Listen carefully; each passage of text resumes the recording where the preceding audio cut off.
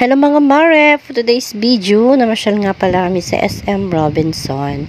Kasi payday ngayon, kaya pinasyal ko sila, ititreat ko din sila. So, minsan-minsan lang naman kami namamasyal mga mare. Kasi request din ni Yana at saka kay si Ben Ben. So, gusto ko din silang ipasyal at makapaglaro din sila sa mall. Bali mga mare, hapon na yan na pumunta kami kasi hinintay pa namin nag-out si Yana. Alas 3 kasi ang out niya galing school. Tapos, si asawa ko naman is alas 5. Sabi ko sa asawa ko mag-out siya ng 4 para maaga kami pumunta para naman ma-enjoy ng mga anak ko ang paglalaro. Siyempre ayaw naman kasi nagmamadali mga mari sa totoo lang. Yung asawa ko laging gano'n ugali niya. Laging nagmamadali. Kaya minsan kaya namamasyal kami agaan na lang namin. Yun ang lagi namin pinag-aaway ng asawa ko kasi lagi siyang nagmamadali. Parang may pupuntahan ba mga mari? Siyempre nilabas kayo. Siyempre dapat hindi ka nagmamadali. Enjoy the moment, di ba? Family bonding ba mga mari? Alam niyo ba mga mari, siya yung nagbibideo dyan. Ay, ewan ko ba? Bakit ganyan yung pagbibideo niya? Hindi niya man lang tinitignan. Supporter ka, ba mga Be, supportive ka ba sa pag-vlog ko? O hindi, hindi mo pa ayusin yung pagbibideo mo dyan. OMG.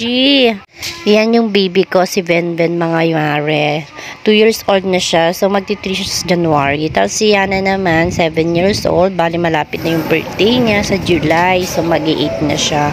Bali, ang request niya kasi mag-swimming daw kami. Matutuloy kami mag-swimming mga mare. Kung hindi uulan. Pero pag uulan, dito na lang kami sa bahay. O kaya kakain na lang kami sa labas. Yun ang sabi ko sa kanya, bibilan ka lang kita ng regalo. Kung ano yung gusto niya ireregalo sa kanya, yun na lang ibibigay ko para mas tipid pa mga mare, di ba? Praktika ng buhay ngayon. Yan mga mare, pumunta na naman kami sa Little People. Bali na nirequest na naman niya na buti na lang nakapagpadala ako ng medyas kasi ang mahal ng medyas nila mga mare.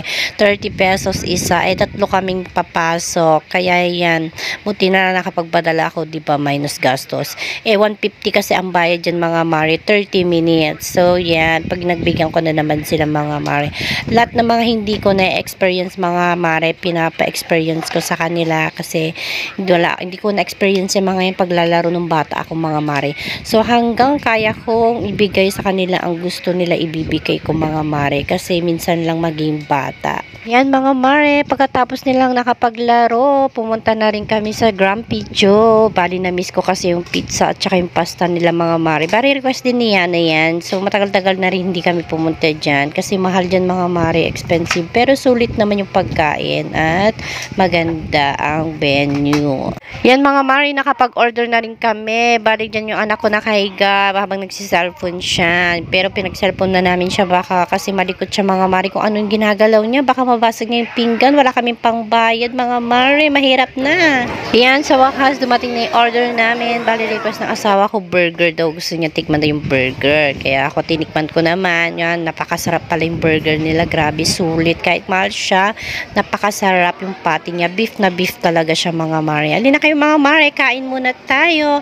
Hintay pa namin yung other order namin. Ba, nag-order ako ng pasta, pizza, at saka isang food niya na yung combo, combo H. Yan. Alam niyo ba mga mari, napakasarap yung seafood, seafood pesto nila. Napakasarap talaga. Sulit, kahit mahal siya. Yan yung na-miss ko talaga mga mari. Lalo na yung pizza nila, yung Aloha 5 cheese. Napakasarap. The best talaga si Grand Pizzo. Kain na muna tayo mga mare. Papakainin ko na na yung anak ko dyan mga mare. Bari gusto din niya mag-video kaya binidyo ko din siya mga mare. Nabusog ako dyan mga mare sobra. Pero sulit naman. Na-miss ko talaga yung food nila. Para minsan-minsan lang naman pumunta dyan sa Grand Video kasi mahal. Kaya yan, na-try din naman namin. Di naman sa kwan. Kung may sapat lang na pera, saka lang kami nakakalabas mga mare. Alam niyo ba mga mare, kuripot ako pagdating sa sarili ko, pero pagdating sa mga anak ko at sa pagkain, hindi ako kuripot. Kasi pagkain yan eh, di mo naman, di mo na makakain yung pera na yan eh. So, darating din yan at mapapalitan din yan, di ba mga re? Sa totoo lang, sapat naman yung sinasakod ko mga mare, nakakapag-ipon din ako kahit konti at nabibili ko yung gusto ng mga anak ko at nabibili ko din yung gusto ko. Kaya nagpapasalamat ako kay Home Credit Financing Company kasi dahil sa kanya nakakabili ako ng mga gusto kong pagkain at nabibili ko yung mga gusto kong gamit para sa sarili ko at mga gamit ng anak ko. Yan muna for today mga mare. Kain muna tayo. Bye-bye. Thank you for watching. Don't forget to like, share, and comment. Bye-bye.